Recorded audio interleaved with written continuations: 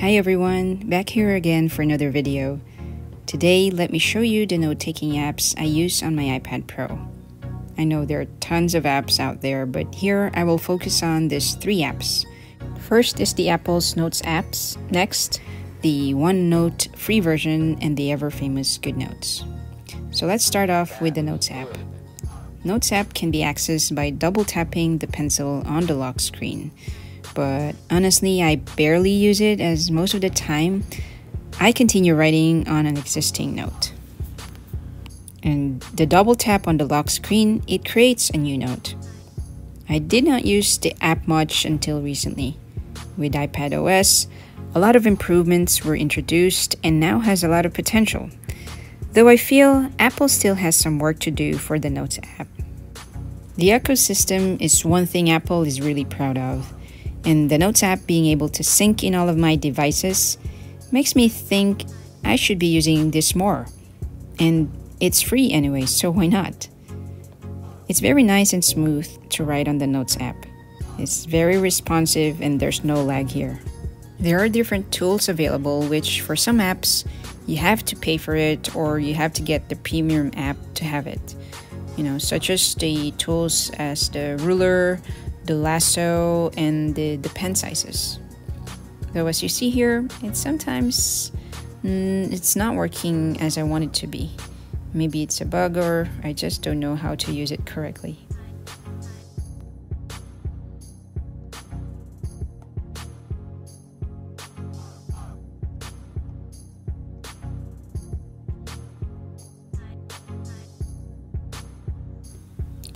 One thing I noticed in the Notes app is that the scaling or view, I don't know, however it is called, it changes when I put it in full screen and everything just becomes bigger. I don't know if some people prefer it this way, but I surely personally don't like it. Handwriting recognition is good, and drawing on the Notes app is very much possible. It's nothing close to using Procreate, but it'll work for drawing for notes or in your work.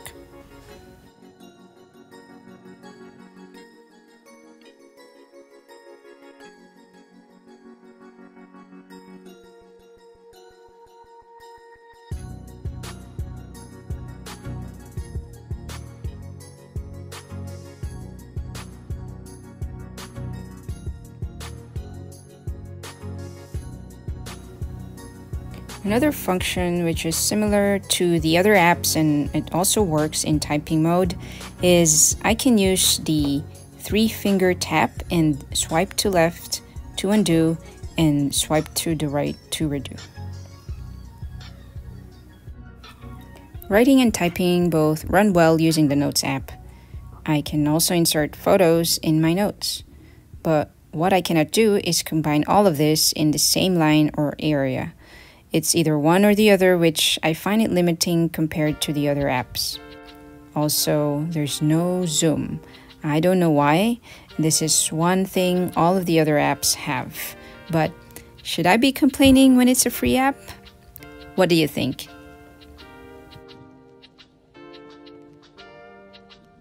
Now, moving on to the next app, the ever famous GoodNotes. Why I say it's famous, it's because I see many videos out there using GoodNotes for journaling, like A-Hong Paper log. And by the way, I like watching her videos. The ASMR and the way she journals is really fun to watch.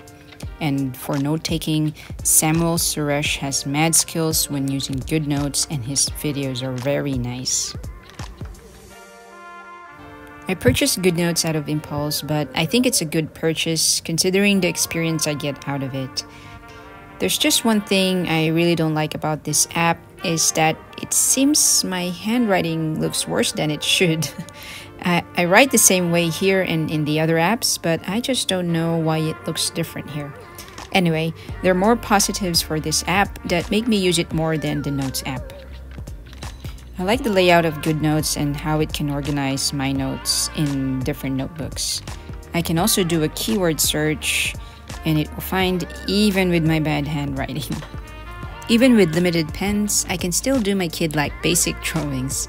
I need more practice for sure, but for others, like I mentioned, Samuel Suresh, drawing on GoodNotes is very much possible. Writing on GoodNotes is really smooth and it's similar with the Notes app. There's no lag that I notice. The only thing that I really notice is that my handwriting just really looks worse than I think it should. I mean, it's not really a nice handwriting, but it's not that bad too. In GoodNotes, I can zoom in and use the zoom window too, something missing from the Notes app.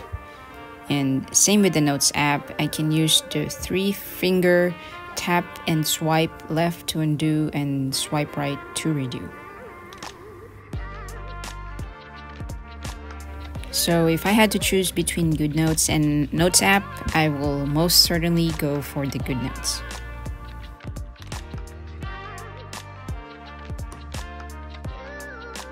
Last one is the OneNote app in the iPad Pro. I think this is one of the most underrated apps for note taking. I myself have not used it much in my iPad, but I have been using this for years on my work laptop, typing away my notes at work, and I just love using it. What I need to appreciate about OneNote is first, it's a free app, and what comes with this free app are almost the same functions as GoodNotes, which is a paid app and, and not really free. I can obviously write in OneNote and use different pens. I can change the size and also change colors. And the tapping on the Apple Pencil works to change to the eraser and back to the last pen. And do you agree? My handwriting looks a bit better here in OneNote than in GoodNotes. Now changing the pens can also allow me to do my basic drawings good for jotting down ideas and writing down notes. In OneNote, if I change it to full view, it doesn't change the scaling of my text or my drawing, unlike in the Notes app, it remains the same size.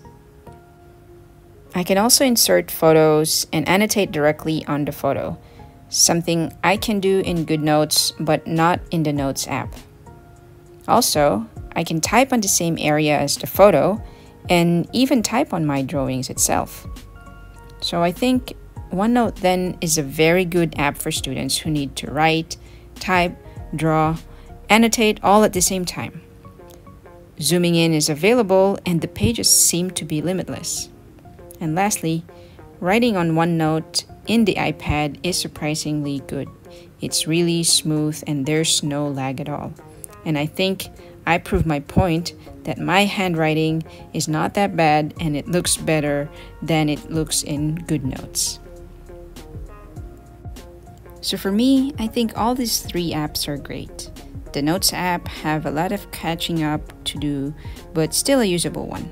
GoodNotes is definitely one of the best apps out there, but it's not free and my handwriting looks bad on it.